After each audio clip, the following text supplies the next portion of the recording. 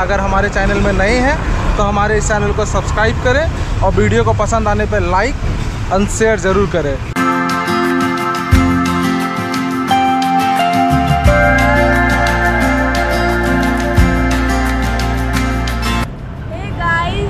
Welcome back to our channel I am Shalini.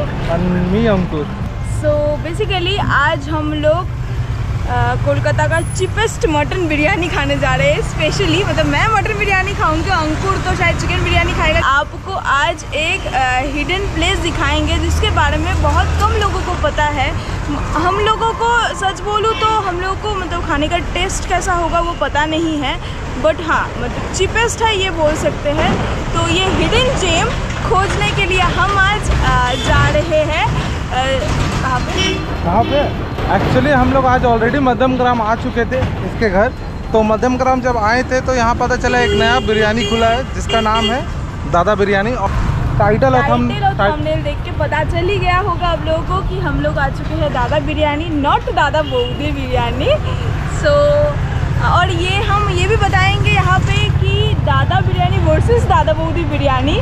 दादा बोदी का एक्सपीरियंस भी जस्ट इससे पहले दो, इसका जस्ट दो ब्लॉक पीछे ना? तो इसका आपका लिंक मैं ऊपर दे दूँगा।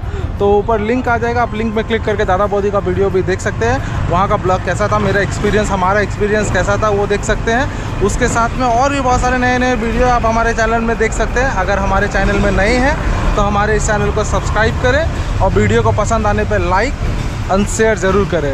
और कमेंट करके कमेंट करके तो बताना ही है आप लोगों को हमारा वीडियो आप लोगों को कैसा लग रहा है? तो चलिए चलते हैं और देखते हैं यहाँ का दादा बिरयानी कैसा है।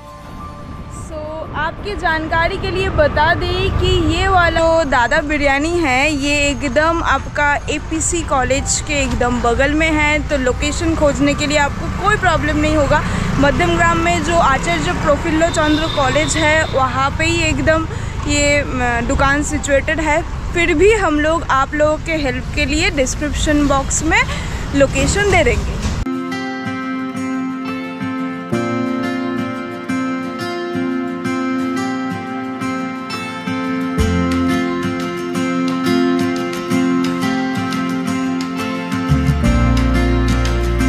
তো দাদা আপনি কবে এই দোকানটা শুরু করেছেন আমার ফার্স্ট লকডাউন থেকে দোকানটা চালু হয় তখন চল্লিশ টাকা চিকেন বিরিয়ানি বিক্রি হতো আর ষাট টাকায় মটন বিরিয়ানি তো সেখানে কাস্টমার সোশ্যাল মিডিয়া যতটা আমাকে সাপোর্ট করেছে ভালোবেসেছে তার ফলস্বরূপ বলতে পারেন দাদা বিরিয়ানি।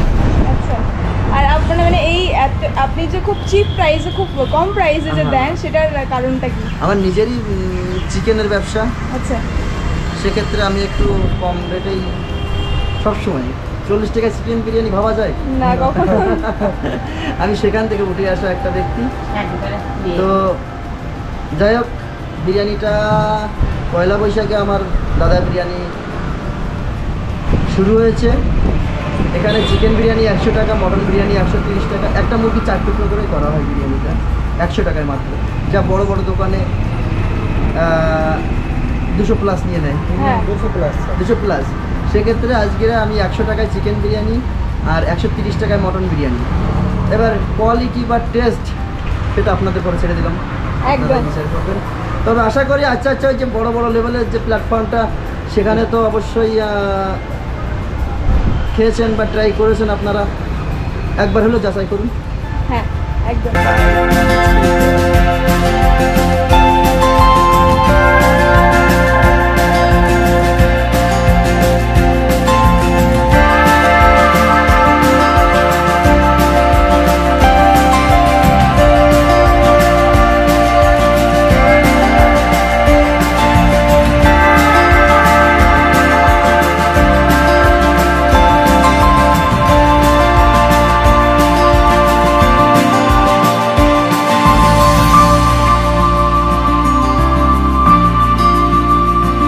शालिनी बताओ।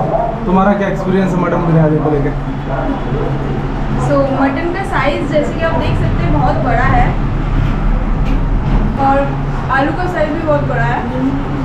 और गोटालू का बहुत टेंडर भी है। फ्लेवर कैसा आ रहा है राइस के साथ में?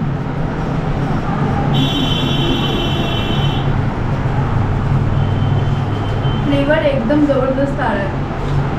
तो हम लोग जो दादा बोधी एक्सपीरियंस किए थे, उस दादा बोलते इसके आसपास नहीं है। It's far far better than Dada बोलती मतलब वो कंपैरिजन भी नहीं मतलब कंपैरिजन में ही नहीं आता है। ना प्राइस में, ना टेस्ट में।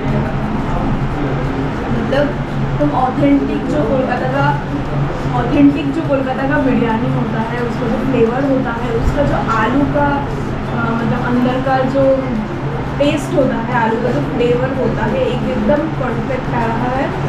और मटन तो मेरा फेवरेट है ही। और इतना बड़ा मटन का पीस और उसके साथ मतलब सलाद वगैरह भी दिया है तो मतलब मज़ा आ रहा है मुझे बड़ा बहुत दिन बाद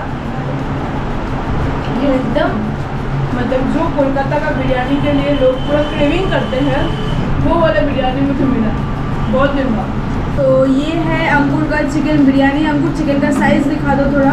चिकन का size this is the size guys so मतलब लेग तो है लेग के साथ में पूरा ये जो जांग का पार्ट होता है ना पूरा नहीं ये लोग एक्चुअली एक चिकन को चार पीसेस करता है तो सोचो।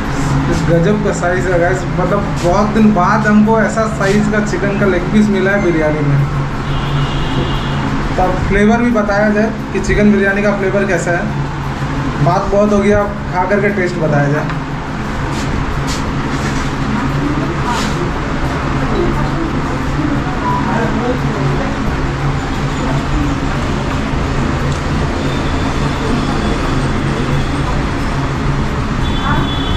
बहुत दिन बाद इतना अच्छा बिरयानी मिला है। सीरियसली अच्छा लग रहा है। चिकन का साइज़ भी बहुत बड़ा है।